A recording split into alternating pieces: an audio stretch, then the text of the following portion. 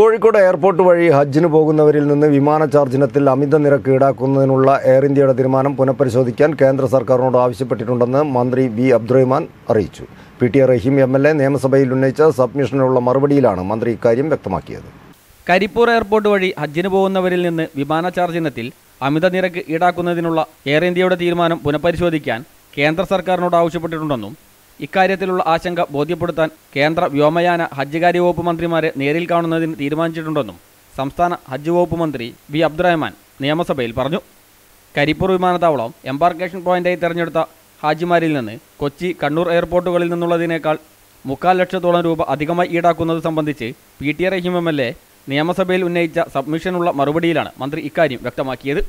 രണ്ടായിരത്തി ഇരുപത്തിനാലിലെ ഹജ്ജ് കർമ്മത്തിനായി മൊത്തം ഇരുപത്തിനാലായിരത്തി എഴുന്നൂറ്റി എൺപത്തിനാല് പേരാണ് കേരളത്തിൽ നിന്നും അപേക്ഷ സമർപ്പിച്ചിരുന്നത്.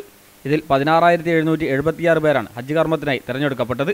കേരളത്തിൽ നിന്നും കോഴിക്കോട് കൊച്ചി കണ്ണൂർ എയർപോർട്ടുകളാണ് ഹജ്ജ് എംബാർക്കേഷൻ പോയിന്റുകളായി നിശ്ചയിച്ചിട്ടുള്ളത്. കോഴിക്കോടാണ് ഏറ്റവും കൂടുതൽ ഹാജിമാർ എംബാർക്കേഷൻ പോയിന്റായി തിരഞ്ഞിട്ടുള്ളതെന്നും മന്ത്രി പറഞ്ഞു.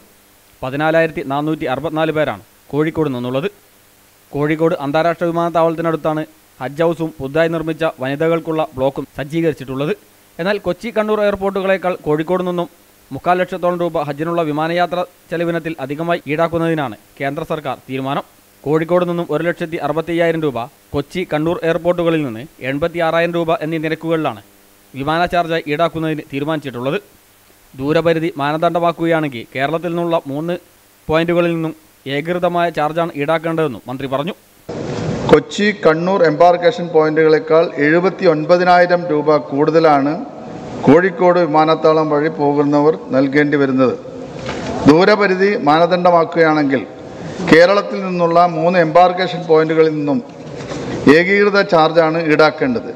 ന്യായരഹിതവും തീർത്ഥാടകർക്ക് സാമ്പത്തികമായി താങ്ങാൻ കഴിയാത്തതുമായ ഈ തീരുമാനം പുനഃപരിശോധിക്കാൻ അതോടൊപ്പം തന്നെ ഈ ചാർജ് കുറയ്ക്കുവാൻ ആവശ്യമായ പരിഹാര നടപടികൾ ആവശ്യപ്പെട്ടുകൊണ്ട് കേന്ദ്ര വ്യോമയാന വകുപ്പ് മന്ത്രിക്കും കേന്ദ്ര ന്യൂനപക്ഷ മന്ത്രിക്കും ഇതിനോടകം തന്നെ കത്തുകളും ഇമെയിൽ സന്ദേശങ്ങളും അയച്ചിട്ടുണ്ട്.